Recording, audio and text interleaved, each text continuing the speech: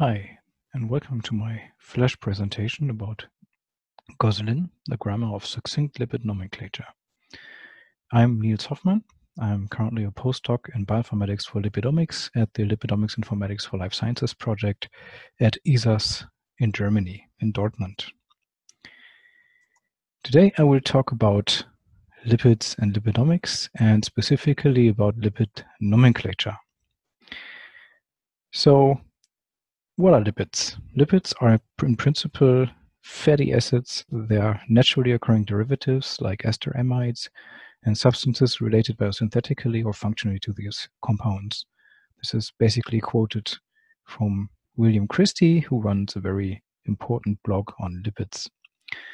Also, Kai Simons, another known person in lipidomics, defines Lipidomics as a whole is the emerging scientific discipline of studying the full lipid complement of cells, tissues, and organisms.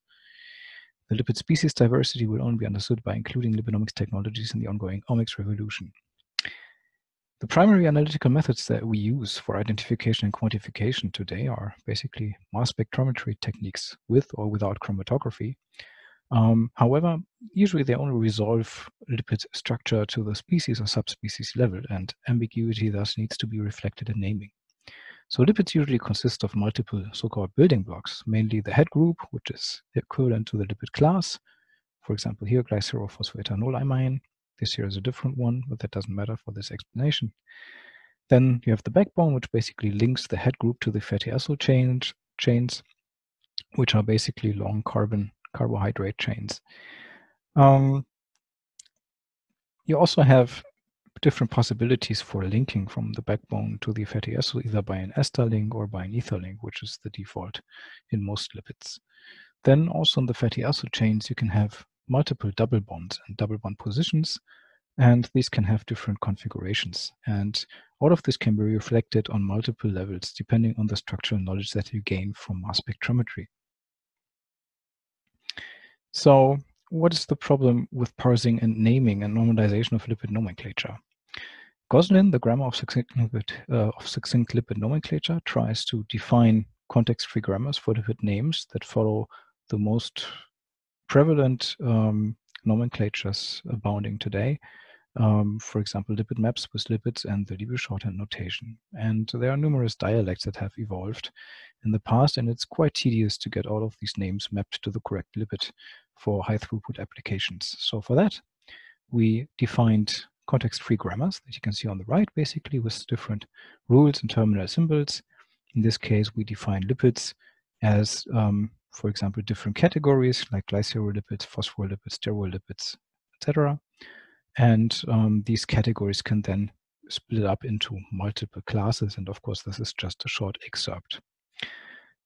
This also allows us to define left to right leftmost derivation parsers and define and also use uh, we also use this to define common data structures for the lipid level hierarchy. So basically we have as input different names from different lipid dialects. We use our ANTLR-based grammars and our parser implementations in different languages.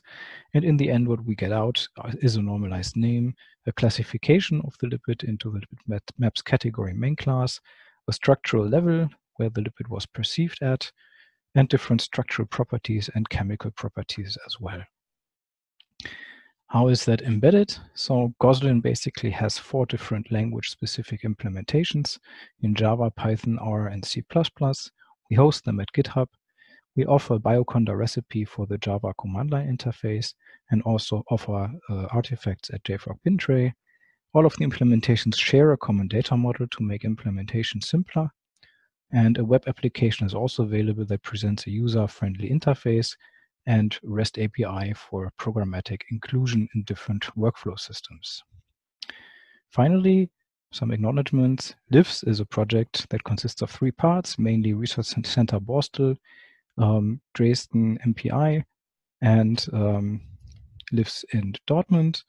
And I want to thank my colleagues Bing, Dominic, and Robert who supported me and uh, played important roles in developing Goslin and also cross-checking it. Also, we are working together with different groups and other societies and also offer training and workshops at the annual Lipidomics Forum. Just check the pages and thank you for your attention.